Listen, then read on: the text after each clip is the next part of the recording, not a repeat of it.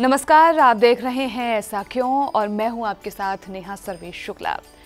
भारत हमेशा से ही संत महात्माओं की भूमि रहा है। यहाँ संस्कारों को सबसे ज़्यादा अहमियत दी जाती है।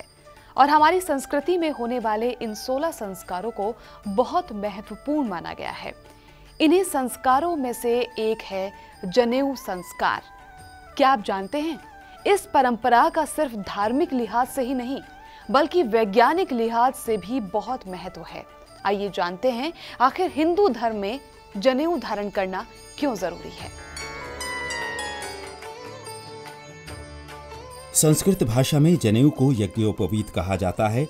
ये सूत से बना पवित्र धागा होता है, जिसे बाएँ कंधे के ऊपर से दाई भुजा के नीचे तक पहना जाता है। ये केवल धर्माज्ञा ही नहीं, बल्कि आरोग्य का पोषक भी है। साधारण भाषा में जनेऊ एक ऐसी परंपरा है, जिसके बाद ही कोई भी पुरुष पारंपरिक तौर से पूजा या धार्मिक कामों में भाग ले सकता है। प्राचीन काल में जनेऊ पहनने के बाद ही बालक को शिक्षा प्राप्त करने का अधिकार मिलता था। जनेऊ में मुख्य रूप से तीन सूत्र होते हैं। हर सूत्र में तीन धागे होते हैं। पहला धागा, इसमें उपस्थित तीन सूत्र, त्रिमूर्ति, ब्रह्मा, विष्णु और महेश के प्रतीक होते हैं। दूसरा धागा देव ऋण, पितृ ऋण और ऋषि ऋण को दर्शाता है। और तीसरा, ये सत्व, रज और तम का रूप है। चौथा, ये गायत्री मंत्र के तीन चरणों को बताता है। पांचवा, ये तीन आश्रमों का प्रतीक है। संन्यास आश्रम में यज्ञोपवीत को उतार दिया जाता है। यज्ञोपवीत की लंबाई छियानवे अंगुल होती है। इसका अभिप्राय ये है कि जनेऊ धारण करने वाले को चौसठ कलाओं और बत्तीस विधाओं को सीखने का प्रयास करना चाहिए। इसके अलावा हिंदू धर्म के अनुसार जनेऊ के तीन धागों में तीन देवियाँ क्रमशः पार्वती, लक्ष्मी और सरस्वती विराजमान हैं। हिंदू धर्म में माना जाता है कि इसे धारण करने से मनुष्य के विचार, शब्द, कामों में निर्मलता आ जाती है। साथ ही ये ब्रह्मचारी जीवन का नेतृत्व भी प्रदान करता है। साथ ही ये किसी बालक के शिक्षा से भी संबंध रखता है। इसके अलावा वैज्ञानिक रूप से जनेऊ धारण करने के कई लाभ हैं।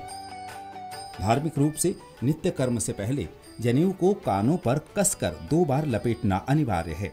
दरअसल ऐसा करने से कान के पीछे की दो नसें, जिनका संबंध पेट की आंतों से होता है आंतों पर दबाव डालकर उनको पूरा खोल देती है, जिससे कब्ज की समस्या नहीं होती और शरीर स्वस्थ रहता है। जनेऊ उसके वेग को रोक देता है, जिससे कब्ज, एसिडिटी, पेट से संबंधित रोग, ब्लड प्रेशर, हार्ट डिज़ीज़ सहित अन्य संक्रमण नहीं होते। जनेऊ पहनने वाला व्यक्ति नियमों में बंधा होता है। वो नित्य कर्म के बाद अपनी जनेऊ उतार नहीं सकता, जब तक वो हाथ पैर धोकर कुल्ला ना कर ले। ये सफ़ाई उसे दांत, मुँह, पेट के रोगों सहित जीवाणुओं से बचाती है। जनेऊ का सबसे ज़्यादा लाभ हार्ट पेशेंट्स को मिलता है।